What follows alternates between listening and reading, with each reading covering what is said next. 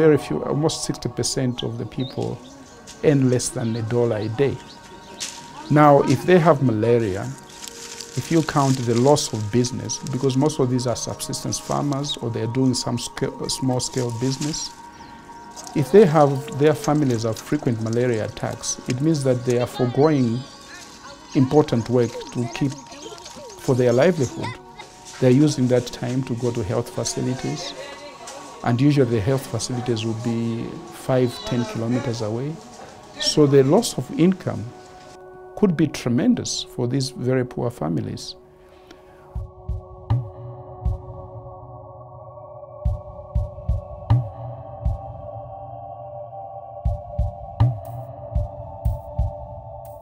ខ្ញុំឈ្មោះព្រីងឆនអាយុ46ឆ្នាំមានកូន4នាក់ប្រពន្ធឈ្មោះផាន់ហុល ខ្ញុំធ្វើចំការខាងដាំដាច់សៀងដែរអីគីឡូ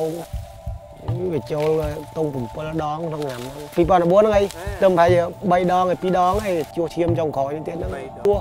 កាលណាអត់បាន20ថ្ងៃហ្នឹងវាញាក់ទៀតទៅជួសគ្រុនចាញ់ដែរដល់ពេលថ្ងៃក្រោយជួសទៀតគ្រុនចាញ់ដែរតែវិបាក់ហើយនឹងមិនវិបាក់មិនរហូត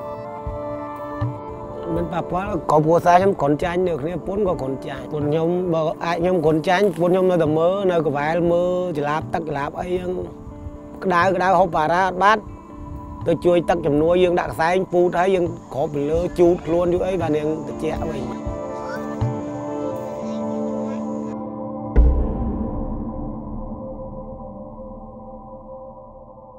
Eh, Eto Augusto ha tenido malaria. Hace tres meses que está así con malaria. Se repite y se sana, así está en tratamiento.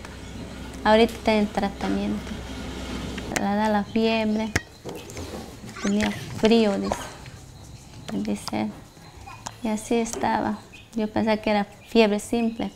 no era la malaria. Me siento triste. Le lleva al centro de salud.